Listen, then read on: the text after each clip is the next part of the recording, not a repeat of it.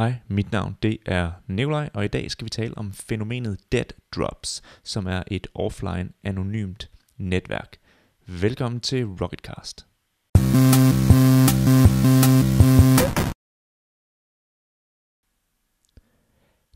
Dead Drops startede egentlig i 2010 som et kunstprojekt af en tysk kunstner, som hedder Aaron Bathol, hvor han var en tur i New York og lave det, der hedder Artist in Residence, eller en lille udvekslingstur, kunne man måske kalde det. Og der kom man på det her koncept med at bygge det her offline anonyme netværk. Man kan se meget mere ind på deaddrops.com. Der kan man også se et kort over alle de deaddrops, der er i Danmark, og det vi skal lave i den her udsendelse er at prøve at undersøge nogle af de deaddrops, der er i nærheden af, hvor vi er. Og det vil sige, det er Aarhus, som jeg er i gang med at zoome ind på på kortet. Man kan se alle de dead drops, der er inde på hjemmesiden. Der er i alt i hele verden lige i øjeblikket i hvert fald registreret 1316 af de her drops, som giver en max kapacitet på cirka 7 terabyte. Anyways, tilbage til Aarhus. Jeg har fundet et dead drop her, som skulle ligge i Mejlgade i Aarhus. Så lad os prøve at springe ud af computeren og se, om vi kan finde det her dead drop ud i den virkelige verden. Når man er ude og lede efter et dead drop, så minder det en lille smule om at rende rundt og lede efter de her geocaches, som også er sådan en form for digital skattejagt med en GPS. Men en eller et dead drop er et USB-stik, der simpelthen er muret ind i en væg. Og der har vi fundet et her, som er muret ind i væggen. Man kan se, at det måske øh, har lidt lidt under øh, vind og vejr. Men lad os prøve at fyre en computer på stikket og se, hvad der er på det. Måden man aflæser et dead drop på er simpelthen helt lavpraktisk at finde sin computer frem og så sætte den hen på øh, USB-stikket. Det er ikke sådan de optimale vejrforhold, vi er ude i lige her. Det, det sneer en del, og det vælter faktisk, man kan ikke rigtig se det, men det vælter ned med, øh, med snefug ned i keyboardet. Så vi gav det lige øh, et par minutter. Der kom også nogen forbi, der synes det var vældig underligt, vi stod der og stak en computer ind i væggen. Men det viser desværre, at der ikke rigtig var noget på stikket, så vi besluttede os for at pakke sammen og komme videre. Eller det vil sige, stikket virkede sådan set slet ikke. Men det er selvfølgelig ikke noget, vi øh, lader os slå ud af, så vi prøver at gå tilbage og finde det andet dead drop, som skulle være i Aarhus, nærmere bestemt den nordlige del af Aarhus.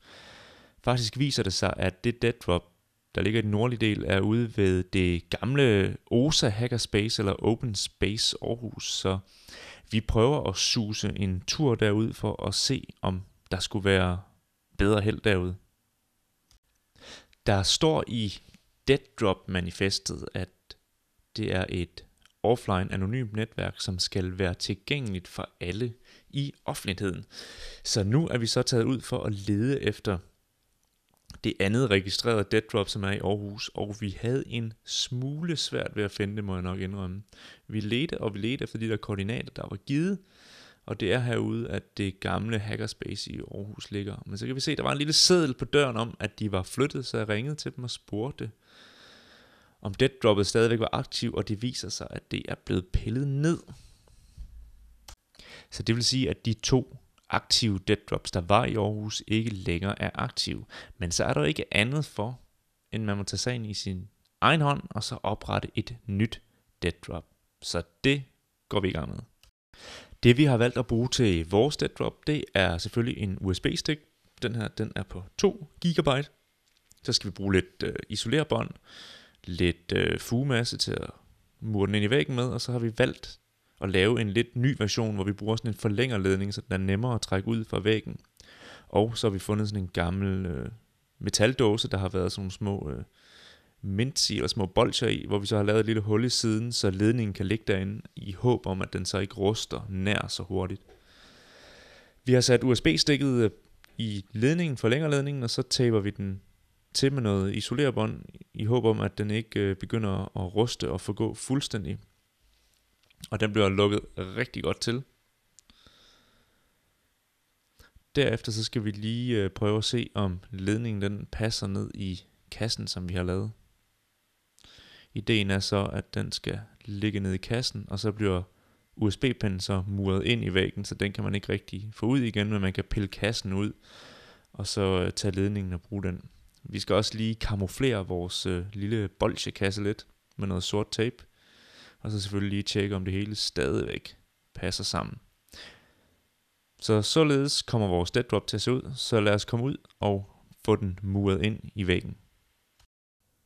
Vi starter med at lægge noget fugemasse ind, så vi har noget, vi kan sætte vores USB-stik fast i. Derefter så finder vi så vores USB-stik med ledning og den lille beskyttelsesdåse, om man vil, og så prøver vi at få se, om vi kan få den klemt ind i muren. Og det ser egentlig ud til at passe meget godt. Klemmer USB-stikken ekstra langt ind, fordi der skal jo selvfølgelig et lag udenover det lag, vi allerede har lagt, så den bliver helt lukket inde, når cementen engang hærder.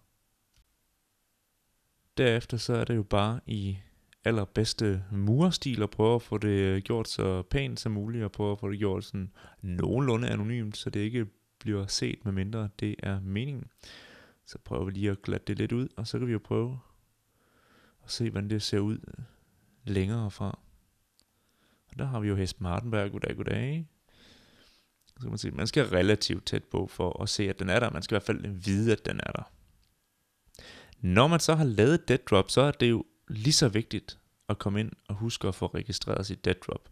Og det gør man simpelthen ind på hjemmesiden deaddrops.com. Der er forskellige oplysninger, man skal taste ind, måske en adresse, eller hvis man har et georef, altså det der hedder et, en lat long retning, så kan man også uh, taste det ind.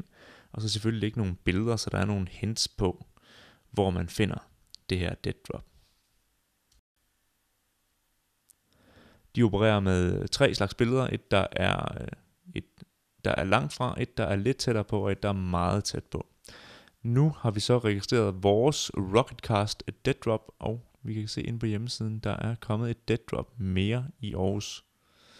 Så vi håber, at I vil komme ud og se, om I kan finde vores Dead Drop og måske se, hvad der ligger på det, og måske også lægge nogle filer. Det var alt for denne gang. Husk at give et thumbs up, hvis du kunne lide videoen. Abonner eventuelt, hvis du vil have besked, når der kommer flere.